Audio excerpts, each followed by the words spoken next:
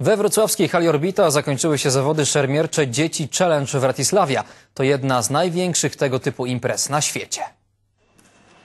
1773 szermierzy z 27 państw i czterech kontynentów.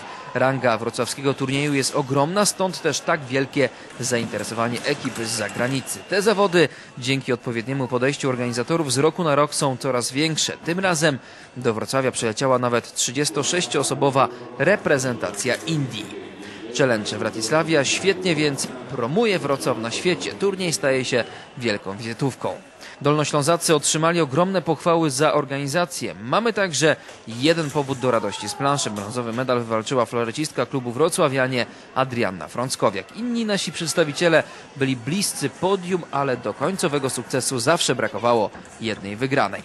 Powody do radości są, bo to Polacy triumfowali w klasyfikacji generalnej. Na drugim miejscu sklasyfikowani zostali Niemcy, a na trzecim Rosjanie.